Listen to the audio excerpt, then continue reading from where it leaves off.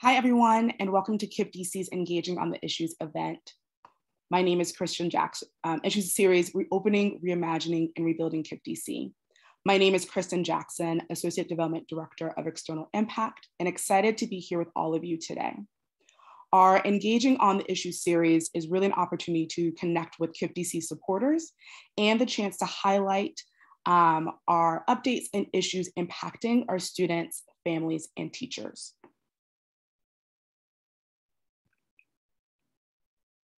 KIPP DC's recovery framework plan for this year is really centered around three buckets. How do we reopen, reimagine, and rebuild the network? Today's conversation will really focus around our reopening efforts and really highlight new investments and protocols we have implemented this year.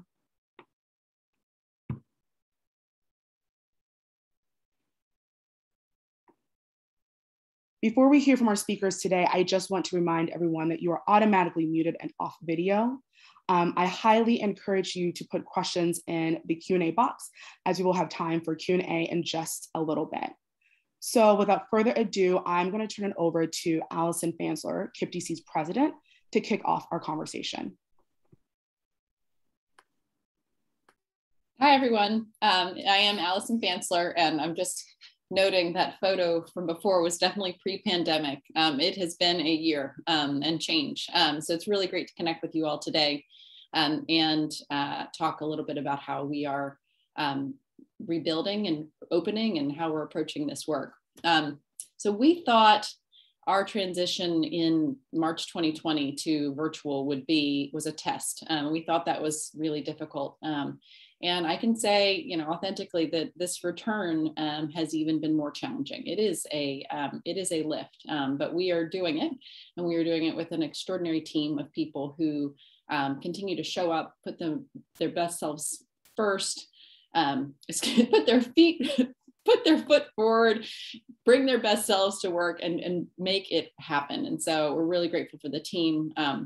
And we thought when we came back, we knew that if we just approached it as business as usual, um, we would miss an opportunity um, and we would miss an opportunity to reimagine how we could rebuild KIPP DC for uh, the future. And so what I want to talk with you about today is a little bit about how we are um, approaching doing that. Our mission, um, we revised our mission um, right before the pandemic started and um, really have been grateful for that because it is grounding us in what's important um, our statement is together with families and communities, we create joyful, academically excellent schools that prepare students with the skills and confidence to pursue the paths they choose, college, career, and beyond, so they can live fulfilling lives and build a more just world. And that is really uh, grounding us in what is important. Um, our mission remains the same, but our work is different, obviously, and the context is so different from where we are. Um, and so we wanted to share a few highlights about how we've reopened, how we've lived into that mission, but are responding to the context that we're in. So this year, we welcomed more than 7,000 students and 1,400 staff members. Um, our enrollment has grown because we have opened two more schools this year um, and uh, have continued to fill out and, and have strong enrollment at all of our campuses.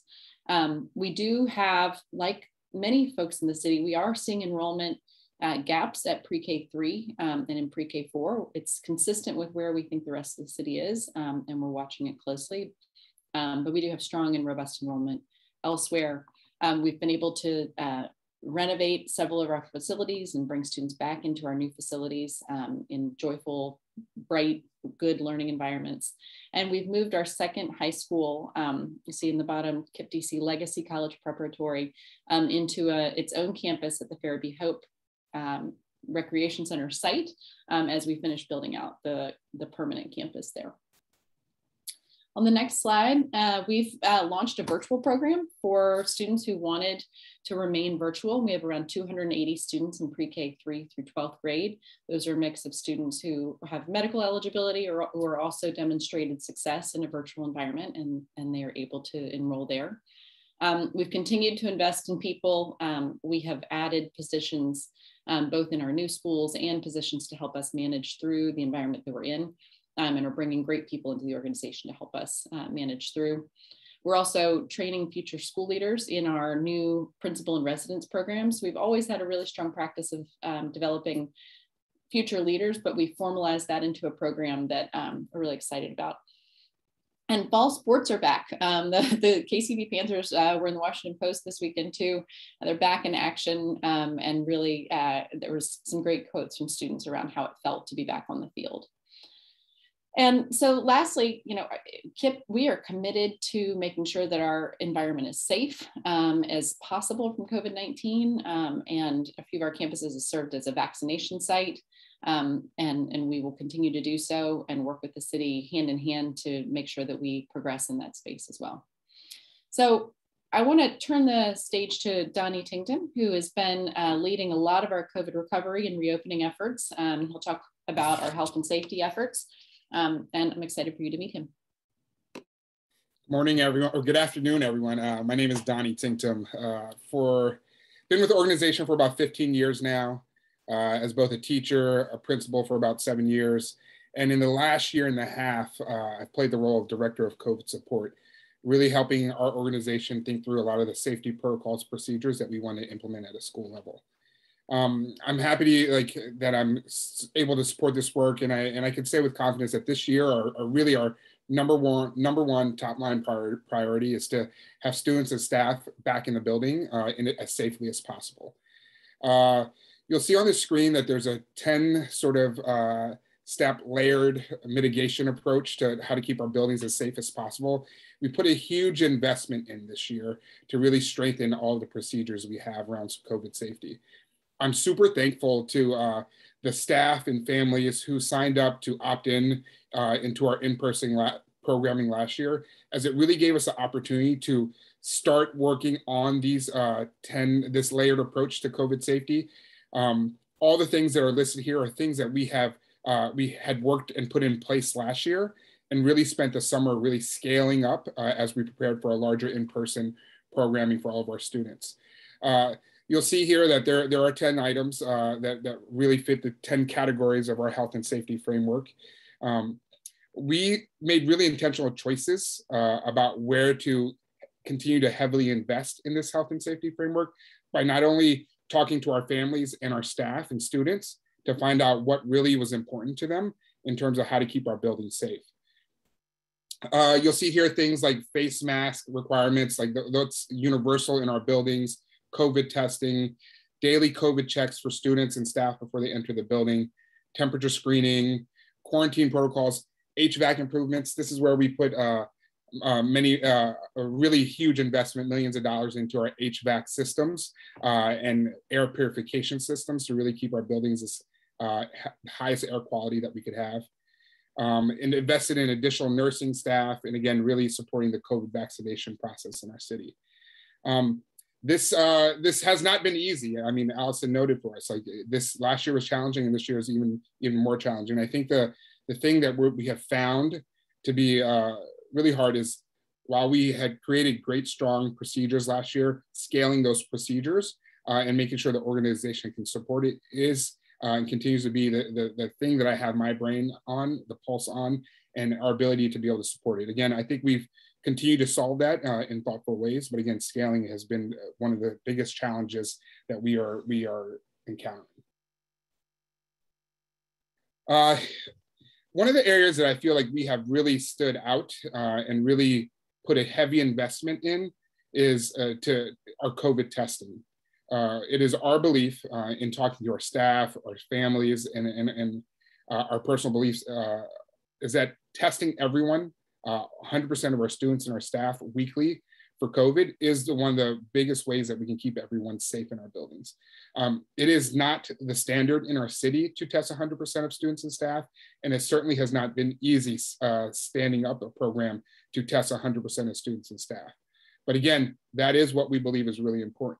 So all KIPP DC staff and students uh, test weekly for COVID-19.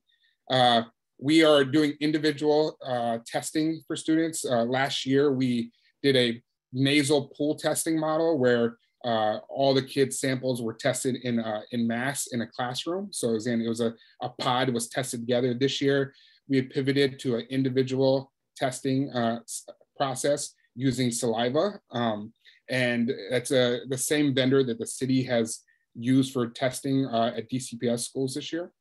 Um, it's great because individual testing gives us really immediate uh, individualized data on uh, positive cases so we can do better contact tracing. Um, we also uh, put a huge investment into contact tracing. And so uh, at KIPP when we have a positive case, there is a team of KIPP uh, staff members who immediately start the contact tracing process. Uh, this is honestly one of the way one of the areas that I think we have really stood up tall and strong in our ability to keep our building safe. Is when we have positive cases, we immediately can uh, isolate the student. We can contact the family members to make sure that student uh, begins their quarantine. We were able to have the students who need to quarantine based on close contacts quickly quarantine, uh, and we have the right systems, procedures, tools to make sure that happens quickly uh, on a regular basis when we find out po about positive cases, our team can fully contact trace and uh, make sure everyone is where they need to be within a couple of hours. Um, that has proved to be really important for us in building confidence with our staff and our families that when we have positive cases, our team can move quickly.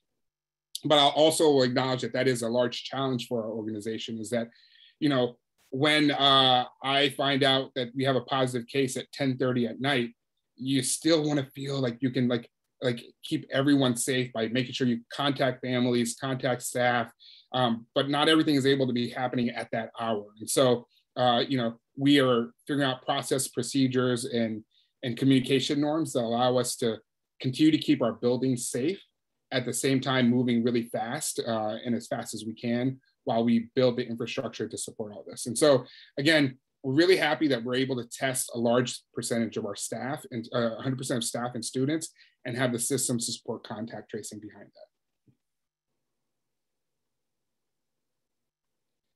Also incredibly important, and I think you, we've all seen this, is uh, COVID vaccinations. It's other, the other really important tool in supporting us uh, in keeping our buildings safe. Uh, the city and the mayor recently uh, had a strict mandate uh, that she announced that all staff, teachers, uh, and contractors who are in school buildings must be fully vaccinated by November 1st. Um, right now, our staff sits at about 70% have reported that they're fully vaccinated by submitting their vaccination cards. Uh, we do hope that there's many more that are vaccinated and that will get their cards in. Again, uh, November 1st is the deadline for all staff, uh, staff, teachers, and contractors to have that done.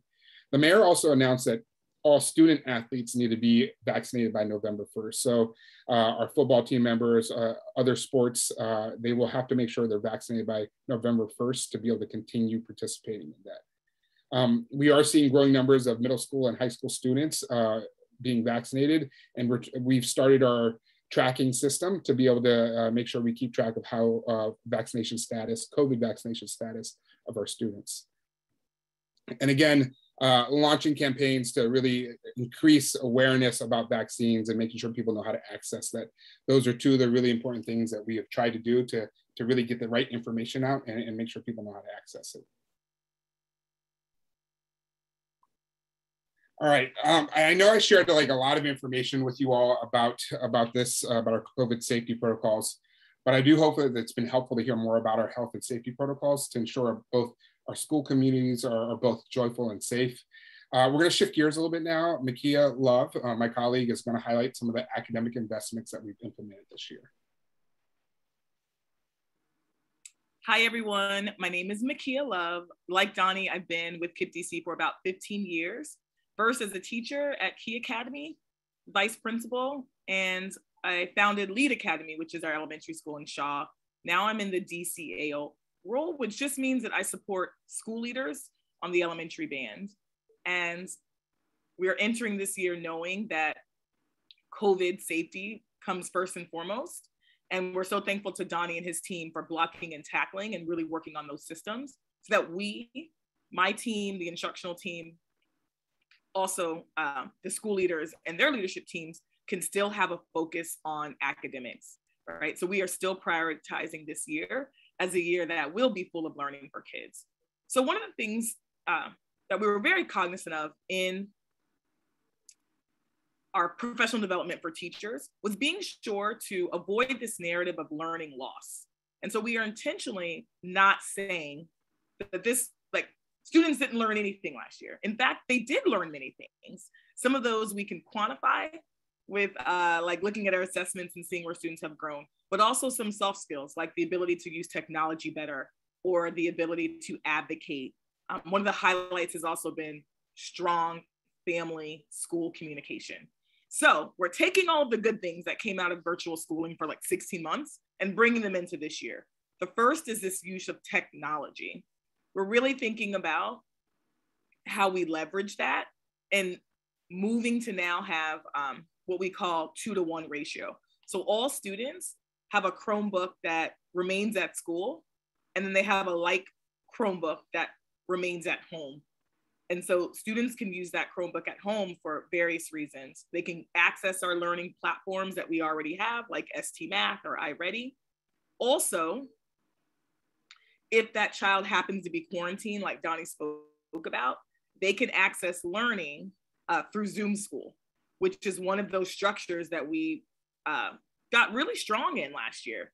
And now we have that to rely on. So if students do miss school because of COVID, it's a real, it's a reality. Um, we're not equating not being in school in person with missing learning. So really thankful to have that technology. It's been such a blessing um, and to a signal to parents to say that learning, learning can still happen. Um, on the next slide, you'll see that we've really thought about our staffing model. Now, as someone who's been a principal, I know that everything happens through staff. So um, we've used lots of extra funds to just simply hire more teachers. What's great was that we really didn't lose very many teachers. We had a strong attrition rate, which allowed us to focus on hiring. So for instance, in a typical elementary school, each of those teach each of those school leaders were able to hire four additional staff members. Now they could use those staff members first and foremost to create smaller sized classrooms. So in another year, a pre-pandemic year, you may have 24 or 25 students in a class. This year, that number could be closer to 19 or 20. We're really thoughtful, as you might have noticed in uh, Donnie's slide, of having some physical distancing. So in our classrooms, they're spaced three feet apart. So the extra staff really allows us to have more homerooms. And it's a great way for teachers to have a smaller classroom to reconnect. Uh, so we're thinking about how do we keep that going in, in future years? Now, we also have other staff members that can serve as interventionists. Um, they can serve as accelerators. I'll talk about that in a little bit. And just can also serve in flex roles in the event that a teacher needs to quarantine. We are so thankful to have that extra staff. It really is just one of the most concrete uh, investments that we've made that allows our schools to feel like we can actually thrive and not just survive, right? So you'll see on the slide some new roles added are um, before accelerators and virtual learning coaches. I want to talk about that for just a second. Donnie mentioned and Allison mentioned that we have a virtual learning program. So we've hired more teachers there for those students who are just learning virtually, and that's their chosen path to be with KIPP DC this year. But we also have accelerators at each campus. We've got one person who does small group intervention and acceleration, grades three through eight, all day for math, and a similar counterpart who does that all day for literacy. And this is a person who's in addition to the regular school staff.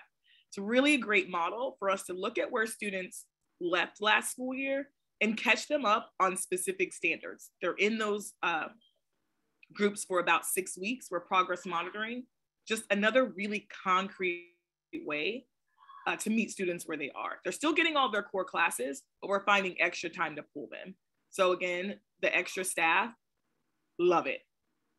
Um, so every staff member who is at KIPP DC, our goal, right, is to have students learn and grow. We're focusing a lot on mastery this year. So if you think about our academic strategy, we know that students experience the pandemic in lots of different ways. And so, one of the things that's really important to us is shoring up the skills that they may not have gotten last year. And that's where we have this focus, yes, on growth, but also on mastery. Um, and one of the, the decisions that we made, we actually started this pre pandemic, um, but are in, enacting it this year, is pre K 3 through fourth grade. We have a new foundational reading curriculum. If you think foundational reading, how students learn to read. And it's called Really Great Reading. And one of uh, the highlights of our reading data this year was that students needed more support learning things like phonics, decoding, sight words, vocabulary, syllabification. Those skills are also very hard to teach via Zoom. It's very hard to teach a student how to read over the screen. We're so excited to be piloting this to have an aligned curriculum pre-K three through four to focus on our foundational skills. So that's our that's our priority there in the literacy world. We also know that when you teach a student to read well, using the techniques of science of reading, the impact is not only in reading, not only in comprehension, but also in their ability to understand all other subjects, math, social studies, science, and just to become critical thinkers. Obviously, there's transference into writing as well. In math, um, we're focusing a lot again on mastery and depth, not just breadth, but really understanding where students are and doing some bridge work, which is teaching into standards, not only for this year, but also from the previous year, because we may not have touched them during virtual. So our math coaches have done like some Svengali moves to really create a scope and sequence, which allows us to go deep um, in specific standards. We also know that there is no catching students up in one year. Um, our goal is to really pick what's strategic for students to learn this year according to the standards and teach it to mastery. And knowing that we will continue with this approach for the next several years. And lastly, uh, I spoke on this a little bit earlier. One thing I really am proud of is our quarantine learning plans. So our teachers became really adept at Zoom school, for lack of a better word, so that when students do quarantine, they are actually able to receive instruction from their teacher via Zoom.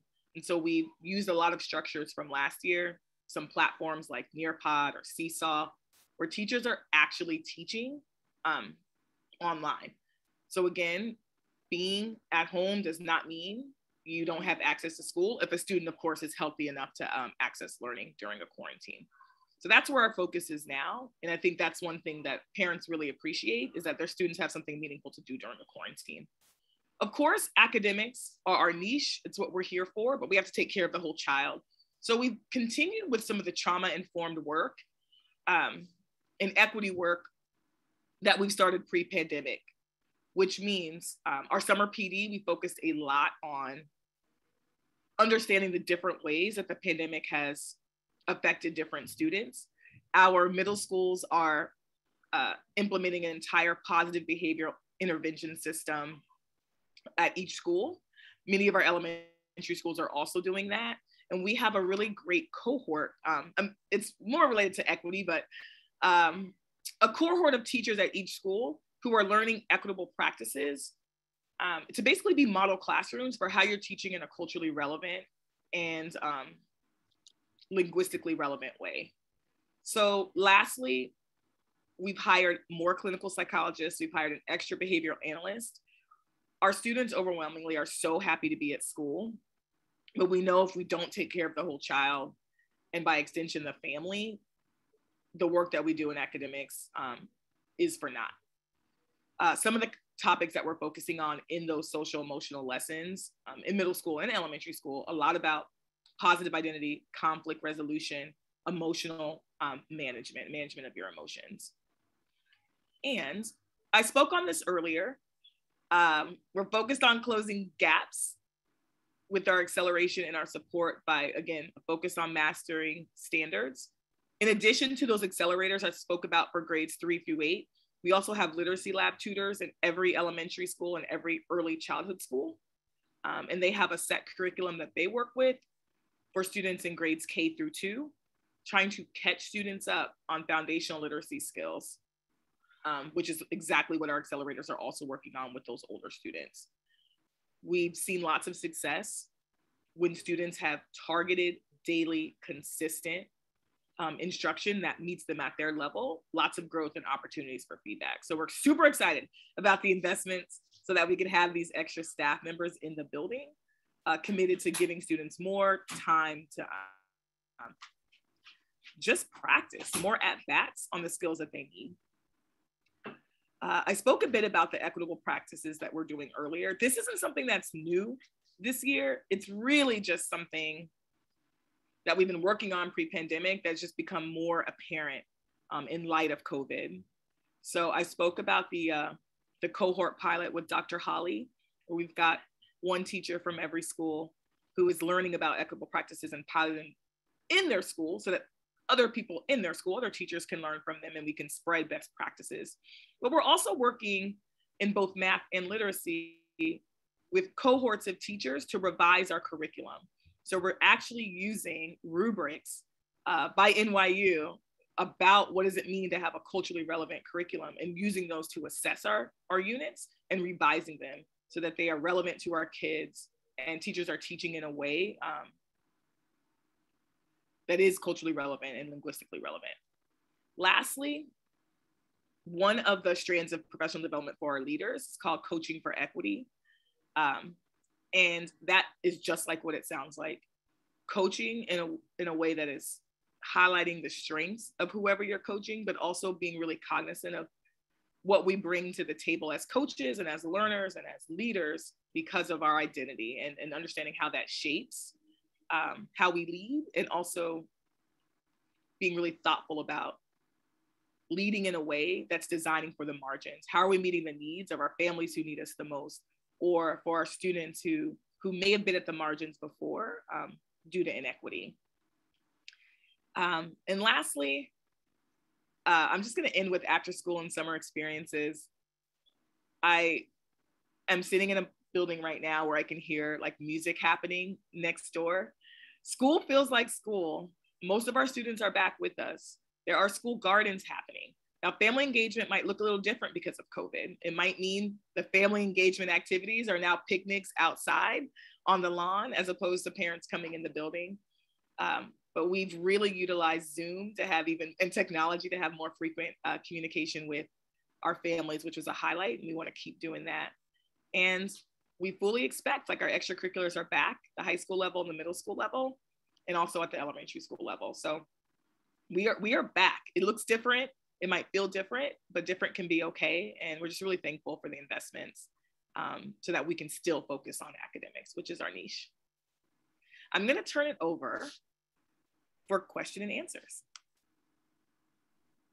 Thanks, Makia. Um, right now, we will have time to do some questions and answers. So attendees, if you have any questions, please feel free to submit them in um, the Q&A box or in the comments chat. Um, so my first question is for Donnie. Um, we received a question around, we make an effort to proactively communicate out to every member of our campus community, staff, families, and partners as soon as we learn of a positive case. We have some questions in the chat about what it means when it, we share the date the student was last in the building. So can you just highlight and maybe go a little bit more in depth um, about the communication and quarantine protocol for close contacts, siblings, and others at a campus? Yeah, so uh, the, thank you for asking that question. And it's good for, for me to give clarification on that. Uh, when we get a positive case, the first thing we do is we reach out to the family to find out some specific details about that student's positive case uh, we might have a positive, uh, be notified about a positive case, but the kid might, may have not been in the building for the last three weeks because they've been quarantining with their family because someone in their family had COVID. And so therefore they had already, uh, already quarantined and, and, later, two weeks later, a week later, whatever it might be, uh, they were diagnosed with, with COVID. So it's really important for us to know when the student was last in the building so that we can tell parents a, your student was potentially exposed to that student because they were in the building at the same time, or B, they were last in the building long ago and there was no exposure concern for, for our staff students or uh, of that sort. And so that's why that last in the building matters um, because it helps us define and figure out who were potential close contacts based on CDC and DC Health's guidance for us. In terms of just like the communication, uh, this is where our organization has erred on the side of over communicating as much as we can about uh, our positive COVID cases because we want to make sure our, camp, our community has the information uh, about what's happening in our building. And so when we have a positive case, like I said, we reach out to the family first to find out the details of that positive case. We'll contact the school teams to figure out like who were the close contacts for that student, which students were, uh, were present which students weren't, which students sit close to that student, what teachers are in and out of that room, really try to find out all the details of who could potentially be a close contact for that, for that positive person. Um, the next thing is we email uh, all the families who are of students who were close contact saying your student was a close contact uh, of a, a, potential close contact uh, of, of a positive person. So we give you your quarantine instructions, return to school dates, uh, suggestions on places you can go get COVID tests, et cetera. Um, and so those are specific for the families who need to have their students quarantined. After that, we then also email the entire school campus. So if you have a student who's in that building, you'll get an email later on that day to say, we want to let you know that there was a COVID case in your building, uh, but did not affect your student because your student was not potentially exposed and not a close co contact. And again, that's sort of the, the us trying to be as, uh, as uh, open about what's happening in our buildings as possible. So parents, you might hear about uh, multiple cases that have been in your building throughout the week, but not actually affect your student because your student was in close contact. Thank you for sharing, Donnie. Of course. Allison, um, we received another question um, from Kat. And so um, the question is, how are we really thinking um, around the vaccine mandate will create or exacerbate any staff sh shortage we might experience at KIPP DC? Yeah, um, thanks for that, Kat. It's good to uh, know you're in the in the room. Um, and for those of yeah. So uh, we are very hopeful and and, and concentrating all of our efforts on uh, reaching the percentage of our staff that is unvaccinated we believe is unvaccinated or unreported um, in the moment. And um, i think the thing that is is great is that we're doing this as a city so that this is something that um, you know in we're holding hands and across the dcps charters independent parochial private all of the schools childcare, we have a consistent message, consistent approach, and we appreciate the mayor's leadership on this so that um, we as an educational community are uh, walking together. Um, so, you know, I think we probably can expect there are a handful of folks for whom this won't um, work, um, but we expect the large majority of folks to um, uh, follow uh, the leadership of the mayor and the and the science and get vaccinated. Um, and we are doing a lot to support people there. We are um, tracking it closely and working closely with our principals to make sure they have information around um, how how vaccination progress is going so that we can make sure we have appropriate staff in the buildings. Um, but you know, our, our teachers love their students and, um, and we fully anticipate that we'll be in, in strong shape um, with a really safe and vaccinated staff. Um, you know, including uh, we, you know, we expect a, a few medical um, exemptions, religious exemptions, and we, we anticipate a few of those, um, but I think we'll be in good shape. Thanks for sharing, Allison. Makia, I have a question for you. Um, someone would love for you to um, just really elaborate a little bit more on how we are evaluating all of our curriculum to make sure it's culturally relevant. Yeah, so there's not a one size fits all, but one um, protocol that we found was from NYU Stern, um, so they actually have what is called like a curriculum scorecard.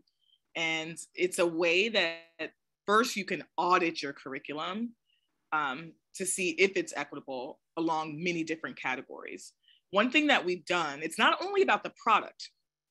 Before we even like evaluate and then start to make shifts, one of the things that we've been really thinking about is like who needs to be at the table. So I think what I'm most proud of is when we've adopted new curriculum over the last year, when we revise curriculum, it's not just me or my team or the literacy team making those decisions. We've opened up uh, the ability to be on those committees to all of our teachers who are interested. And so now we've got perspectives at the leader level, at the instructional level, um, the coach, the coaches, but also the teacher's perspective.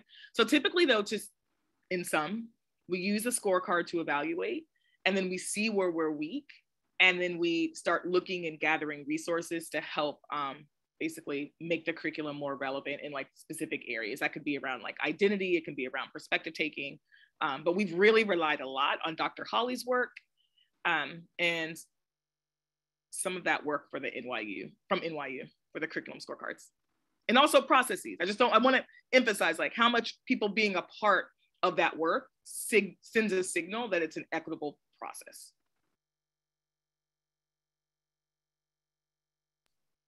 Awesome. Thanks for sharing, Makia. Allison, my next question is for you. Um, we have a question from um, Beth who would love to, who asked that through virtual experience over a year and a half since um, March of 2020, how are we, you know, working and supporting our eighth graders who need to find good fit high schools?